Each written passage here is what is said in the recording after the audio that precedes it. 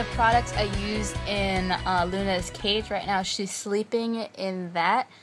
Um, so first, which you guys probably cannot see because this is uh, what you put down first, it's the litter.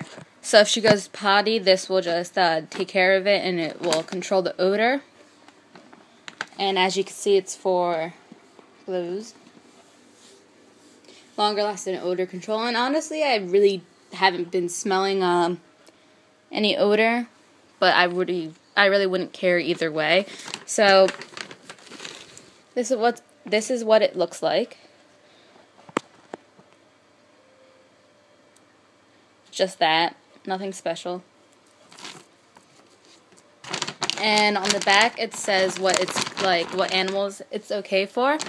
So we have a hamster, rat, mouse, gerbil, chinchilla, and bird. Which um, I've been thinking about using this for my bird, but I'm not sure. And then we have, this is what you see on the top right there. This is fresh colors. Um, they do have plain, but I wanted to be colorful, especially since she's a girl, so I picked purple. Um, this is just bedding. It's like for nesting material, and if they go potty, it's odor controlling. And this is what it looks like. And it feels really soft. I actually like the way it feels. And on the back, it also tells you it's good for rabbit, guinea pig, hamster, reptiles, rat, mouse, gerbil, ferret, chinchilla, and birds. Um, this I'm actually gonna use for my birds, except I just want to get a different color for them since they're, well, since the yellow one, Sunset, is a male. And I'll probably use this one for the green one since she's a female. But you don't have to do that. I just like to keep it cute. And then last but not least, we have Carefresh Hide and Seek. It's um for nesting, but I also like to um that's what building, hiding stuff. Yeah. Um I use this for nesting. I put some in her igloo right there. And I put some right there, but there is hidden food in there, so she has to find it and dig it out.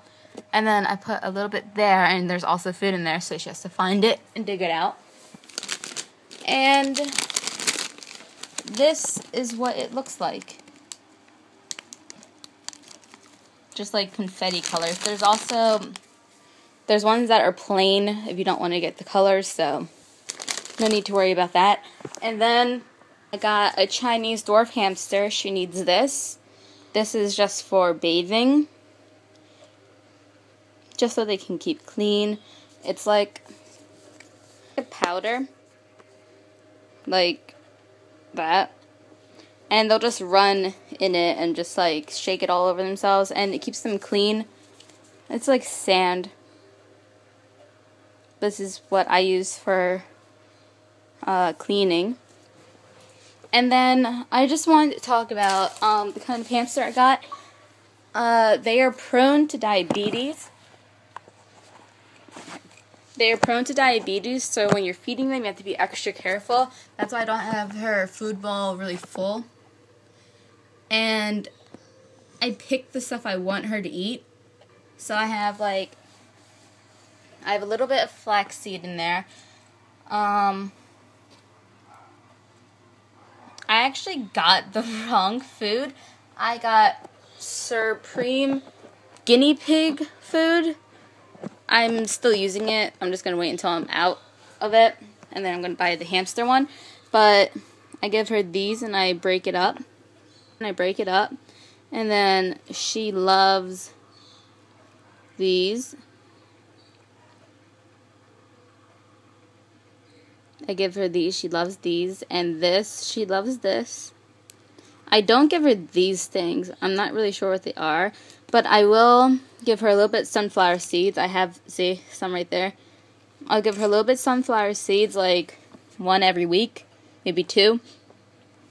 Um, I will also give her oats um, and flaxseed because flaxseed's like really healthy.